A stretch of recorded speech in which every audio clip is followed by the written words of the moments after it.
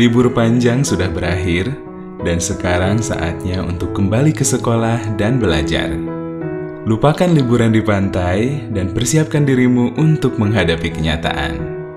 Meskipun sekolah bisa menjadi tempat yang menyenangkan dan menarik, beberapa orang mungkin merasa cemas dan panik, bahkan untuk sekedar membaca buku. Untuk kamu yang mengalami kecemasan saat kembali ke sekolah, cobalah lima tips ini untuk melawan perasaan cemas yang sedang kamu hadapi. 1. Siapkan keperluan sekolah dan benda yang bisa melawan rasa cemas. Persiapkan barang-barang yang diperlukan saat akan kembali ke sekolah. Bukan di menit-menit akhir, tapi cobalah untuk menyiapkan peralatan sekolah lebih awal. Cara ini bisa mengurangi tekanan di dalam diri karena kamu akan merasa lebih siap untuk sekolah. Kamu pun bisa menyiapkan permen atau minuman yang bisa mengurangi rasa cemas. Aromaterapi seperti lavender pun bisa memiliki efek menenangkan saraf pusat, sehingga kamu bisa membawanya ke sekolah. Minum teh hangat dan membawa camilan pun bisa mengurangi rasa cemas.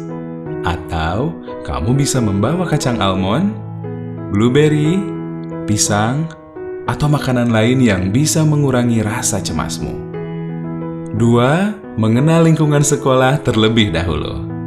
Hari pertama sekolah bisa menjadi hal yang menakutkan dengan berbagai situasi dan perubahan yang terjadi. Kamu bisa mengurangi rasa cemas dengan mengunjungi sekolah lebih awal. Kamu bisa pergi bersama teman, keluarga, atau seseorang yang mengenal dengan baik lingkungan sekolahmu. Kamu pun sebaiknya mengikuti masa orientasi agar bisa belajar banyak mengenai berbagai unsur yang ada di sekolah, seperti mengenal teman baru atau bertanya mengenai berbagai hal. Kamu bisa mengetahui banyak hal dari masa orientasi, mulai dari ruang kelas, layanan konsultasi, ruang administrasi, dan ruang UKS. 3. Atur jadwal tidurmu. Liburan sering kali dimanfaatkan untuk begadang dan bermain bersama teman-teman. Berbeda dengan waktu sekolah, di mana kamu harus tidur lebih awal agar lebih siap di pagi hari untuk pergi ke sekolah. Karena itu, aturlah pola tidur beberapa hari sebelum sekolah dimulai. Jika tidak, mungkin kamu akan terlambat untuk datang ke sekolah, tidur di kelas, atau terlihat tidak bertenaga dan bersemangat saat bersama teman. 4. Mempunyai buku agenda harian atau jurnal rasa syukur. Ketidakpastian bisa memicu rasa cemas. Karena itu, pertahankan rutinitas secara konsisten dengan membuat jadwal untuk belajar, bersantai, makan, dan tidur. Berinvestasi dalam perencanaan yang baik bisa membantu kamu mengingat semua janji, tenggat waktu, dan acara.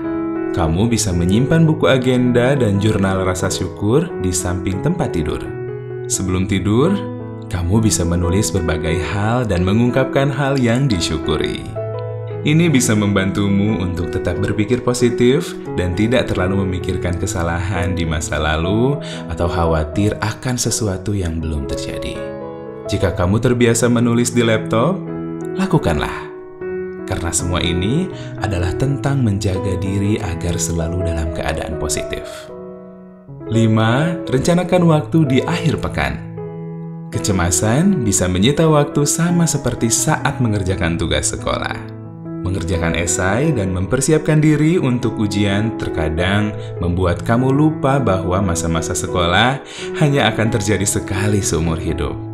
Mengejar target untuk tahun ajaran baru mendapatkan nilai sempurna, atau ikut berbagai kegiatan ekstrakurikuler bisa membuatmu lupa untuk bersenang-senang.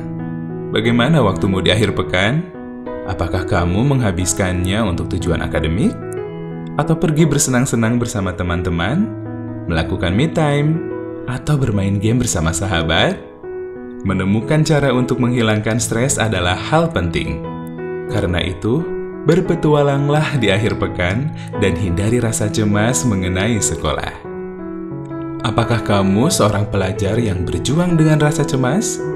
Apa yang bisa membuatmu cemas saat kembali ke sekolah? Tuliskan di kolom komentar di bawah ini. Pastikan kamu sudah subscribe Psych to Go ID dan share video ini dengan teman-teman yang mungkin memiliki kecemasan tentang sekolah.